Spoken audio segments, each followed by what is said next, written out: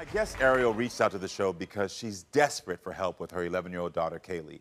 Ariel says that Kaylee's father has not been in her life and has only seen her five times.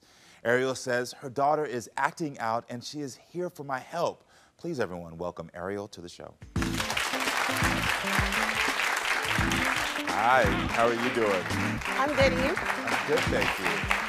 Nice to meet you, Abahad. Yes. Nice to meet you. Nice to meet you. Yes, okay, so Ariel, tell me, so Kaylee has recently been suspended from school. What happened? She got into a fight. Okay. Um, she's been bullied. Um, she has osteochondromas along with epilepsy. She's been bullied pretty much her whole life. Been talked about how she walks, talk. She just got sick of it, and she swung and beat up a girl at school. Got it. So these, because I'm not familiar with those conditions, are those familiar uh, conditions that are physical conditions? that Yes. people, okay, so kids are making fun of her physical Yes. conditions. Okay. When did this out of control behavior start, in your opinion? Um, about six, seven years ago. Okay. Um, she reached out to her biological father to come down for a Christmas. I want to say it was either Christmas or a birthday. He said he would come. He never showed, didn't call, and she just got to this point where she just doesn't care anymore. Mm. So it started at that point. Yeah. Do you have any other kids? Yes, I have two other, How old are they? um, three and one. Three and one. Yes. Okay. And she's the oldest, obviously. Yes. And you've been married to Isaiah for two years, correct? Yes. What's Kaylee's relationship with her stepdad? She's asked him to adopt her. Okay. Um, we've brought that up with Kaylee's biological father, Desmond. He said that's not gonna happen. She's they their relationship is like oil and water sometimes. Sometimes they get along. And sometimes she has that mentality of love is just meant to hurt. She's told him, You ain't my daddy, I hate you, hope you die. It's been a lot of different things, but it all still stems from her actual father not physically being there as long as it's been. And so Kaylee's biological father, his name is Desmond. Yes, Um, Desmond's missed out, missed out on a lot in your daughter's life. a whole lot. Like what? Everything. First steps, first words, first day of school, first surgery, hospital stay, dental, um, father daughter dance. Everything. It's tough on you. He's been on one birthday in 11 years, and she was eight. And he was only there because I drove to Michigan and picked him up and took him. What does Kaylee say about her dad um, not being around? She actually, I submitted a picture, a drawing she did. Um, me, her, and Isaiah, we sat and we did some artwork. Yeah. And she wrote how her dad makes her feel. I feel unwanted by him. I feel upset when he lies. I dislike how he disrespects women. Did you help her with this list? No. Really? Because some of this language sounds a little bit more adult. Mm-mm. Wow. Well, listen, Ariel says that her daughter Kaylee's out of control behavior is just a cry for attention from her absent father, Desmond.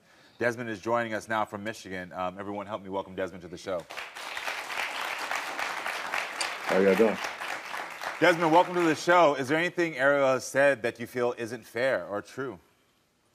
Uh, to be 100% honest, no. Um, when she's speaking, uh, when it comes down to the behavior of my daughter, the relationship of her daughter, as far as not being around and things like that, that's 100% facts. That lines right up with, you know, what she's speaking about. Um, it's just the back end of why is totally different than what it is that's being spoken. So you're admitting that you're not involved, that you haven't been there for your child. Uh, no, not in the content of how you're speaking. And what I mean by is, when a man calls, you have to pick up the phone. And then um, when the man, you know, sits at the bus station and he's being denied, you know, uh, there was the times where I would come up there and I would make those trips. You and came to my house and caught a bus once. And she was what, three? That was in not once, 11 kid. years, and I can count on one hand. You've seen her five times. Okay, five times physically, I would say right around five, five times, six times, and honestly speaking, maybe four. To be to be realistic, and maybe maybe honestly being four. And the reason why I'm saying that and not denying most of what she's saying is because those are facts and those are true.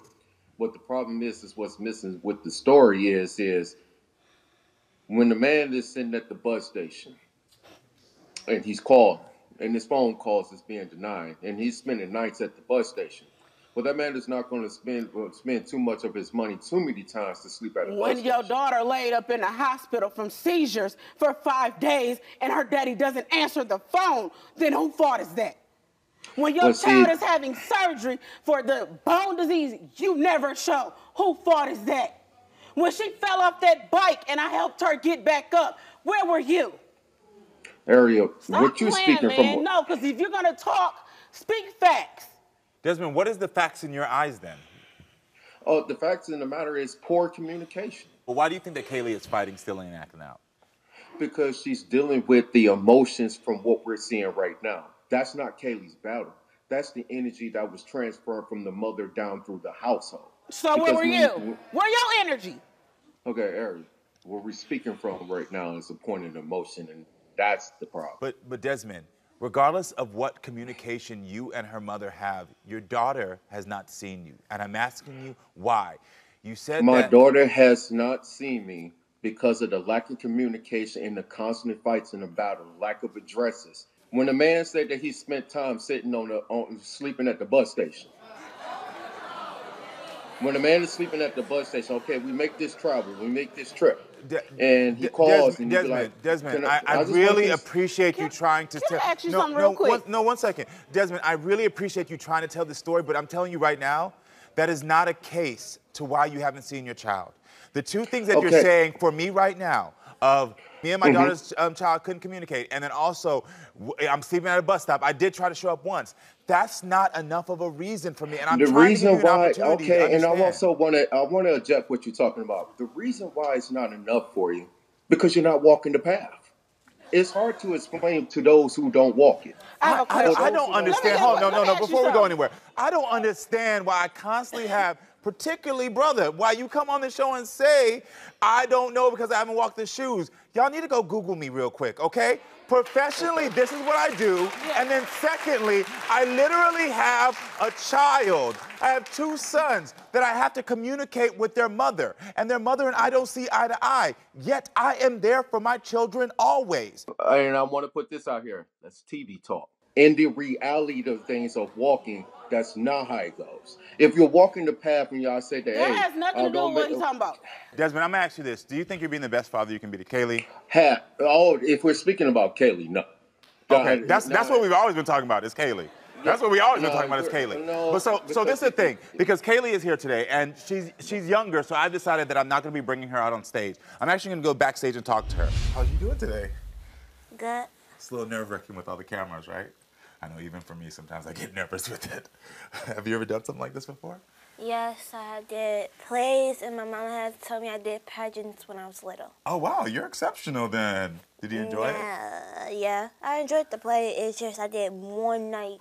It was a one night only because I did not want to go again. Yeah. Okay. If I can be honest with you, your mom told me that you kind of got into some trouble at school. What's been going on? This girl kept messing with me and bullying me Yeah. to the point that I got ticked off, Yeah. and I just beat her up. Yeah, you got really angry. I understand that. I get angry sometimes too, so I understand that. When you get mad, who can you talk to? Basically, I have this Are you able to talk to your mom or your dad? Yeah, but sometimes I'll just go home and scream at a pillow and then walk downstairs and do whatever it is to be done. Yeah. So when are you able to talk to your mom and your dad? Like, I like talking to my dad in front of my mama, but most of the times I really, sometimes I really don't talk to my mama, but when I talk to my mama, I like being alone with her. Like, sometimes I ask if we could, me and her could go out sometimes, even though we probably wouldn't, we sometimes never do it. Yeah. But you still ask. You want to know. That makes sense. So when you say you talk to your dad, is that is that your stepfather that you're talking to, or My your, stepfather. your stepfather? You and your stepfather have a good relationship. Mm-hmm. Well, if your dad was here today, what would you want to say to him? That your deadbeat? Do you miss him? Nope. Why don't you miss him? Because he never been there, so I don't know you. So you don't know him to miss him. Yeah. Would you like a hug from him? Why not? I don't know him. Yeah. I don't I don't really trust a lot of people. And if I don't know you, I'm not gonna go. I'm gonna scream, yell, I'm not gonna go.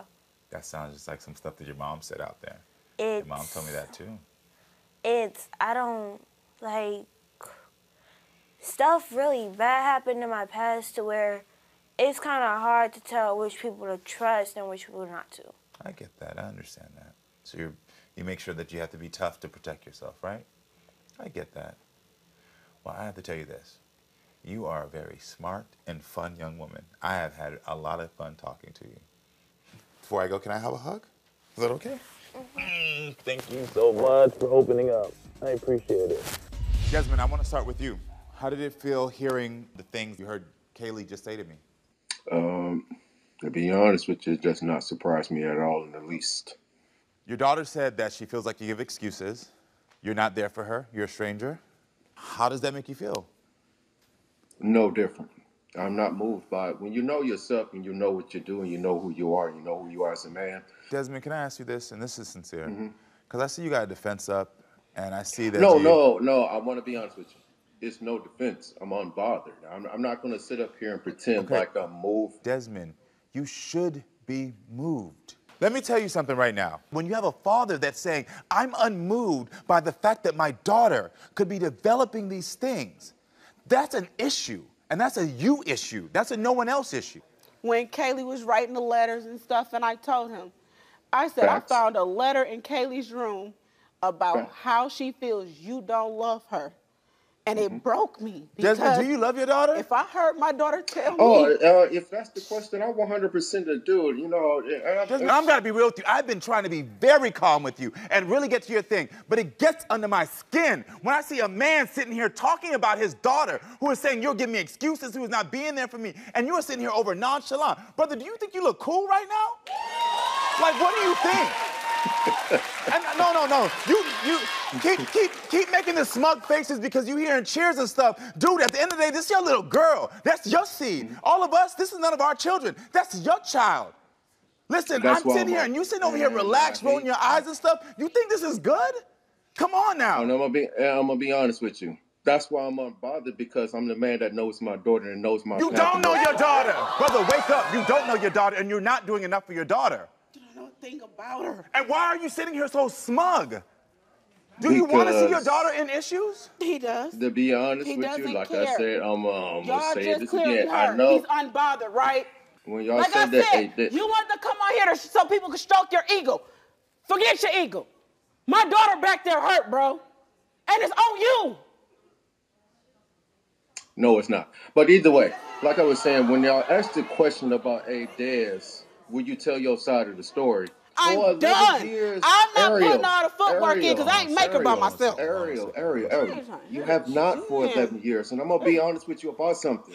A lot of the problems that's going through is because you have not let go of your internal pain. No, no, no, I no, can't no, no, fight Desmond, that. Desmond, When I gotta stop. that- No, Desmond, what you're gonna do is you're gonna start attacking her, and that's not gonna be healthy communication No, with either no, of you. no. I just No, heard it. I just heard it. No, no, no, no, no. One, So listen, Desmond, I'm telling you what I She hear. had- she Desmond, had- I only she- repeat she- back what I hear. One of the things that I want to lead you to leave with, you keep saying, Okay. I am a good father, and I know I am. And let me tell you something. The only person who can make that decision if you're a good father or not is your daughter. And your daughter right now has clearly just told me that Well, you are honestly, and I want to reject up. that, and I want the people to hear this. That's a bunch of BS. Let me tell you why. Because the moment that you don't buy something, this is something that a good man taught, cut his feet? which I had. I Cut had a father in my Cut his life. feet. Cut his feet. like Seriously, said- cut his feet. Cut his feet. Cut his feet. Cut his feet.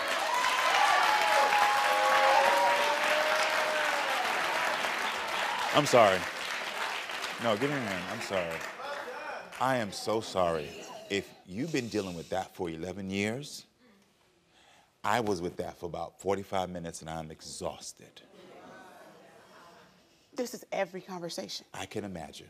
I know. She's been begging and crying for it know. for years. I know. My daughter wants to block him. She don't I know him. I know.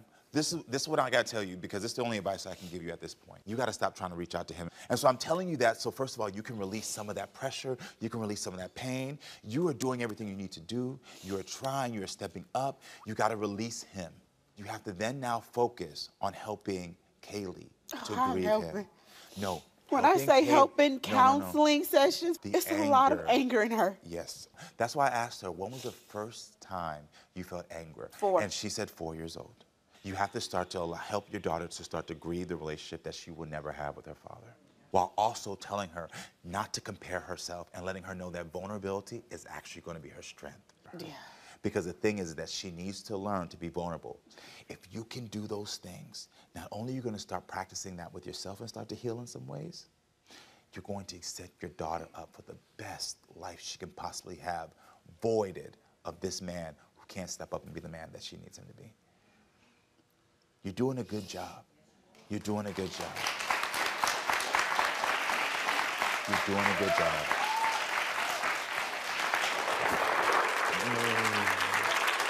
I'm so. Hold on. Where are you going? I'll tell you where you're going. Right here to subscribe and right here to watch more. Period.